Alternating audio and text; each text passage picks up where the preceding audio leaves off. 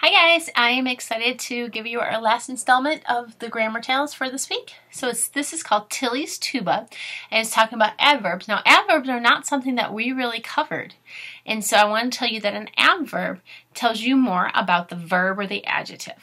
So the adverb tells you more about the verb, the action word, or the adjective, the describing word. So we're going to listen to the story and try to pick up some of these adverbs. Tillie has a tuba. She plays the tuba proudly. See how that proudly tells about um, how she's playing?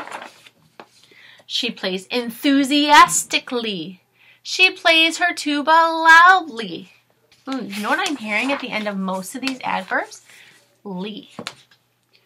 Tillie loves her tuba. She plays it day and night. She plays it early. She plays it late. She fills it fills her with delight.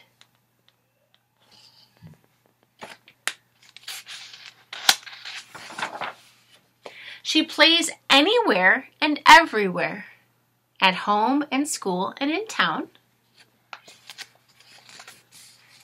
Her teacher says, Tillie, you can't play the tuba here.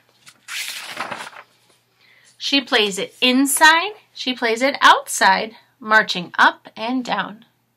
Tillie thinks her tuba sounds totally uh, stupendous, but her friends and families all agree the noise is quite horrendous. You think horrendous is a good word or a bad word?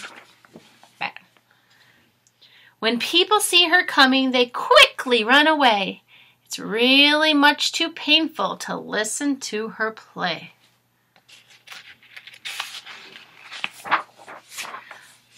Finally, Tillie's family said, kindly take a break. Our heads all hurt tremendously. Our ears completely ache. Tearfully, poor Tillie put away her tuba then. She vowed absolutely, positively never to play again. Tillie kept her promise, but her family just couldn't win. Today, Tillie sold her tuba. And now she plays violin. So just some tips, guys. Um, an adverb modifies the, the verb. It can tell how something is done, so she plays loudly. An adverb can modify the adjective, um, and it often tells how, how or how much. So the noise was quite horrendous or she plays very loudly. And then although adverbs, most, a lot of adverbs, sorry guys, end in ly, like proudly, enthusiastically, totally. It's important to remember there's a lot of word adverbs that don't, like today, inside, never. And the best way to tell if a, ver- a word is an adverb is to figure out which word it modifies in the sentence. Ask yourself, does this word tell me more about a verb or an adjective? If the answer is yes, then it's an adverb. Hope you guys have a great weekend. I'll see you soon.